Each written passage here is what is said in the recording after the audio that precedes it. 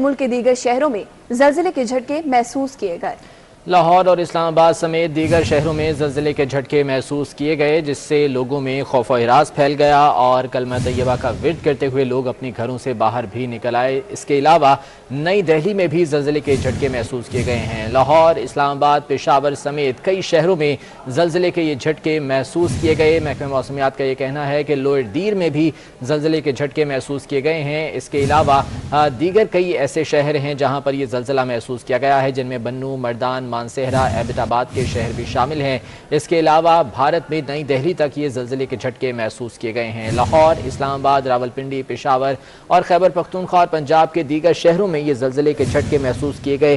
आ, कुछ देर पहले ये जल्जला आया और इसके बायस लोगों में खौफ हरास भी फैला। लोग अपने घरों से कलमा तयबा का वेट करते हुए बाहर निकल आए और न सिर्फ़ ये पाकिस्तान बल्कि भारत के कई शहरों में भी जल्जले के झटके महसूस किए गए हैं।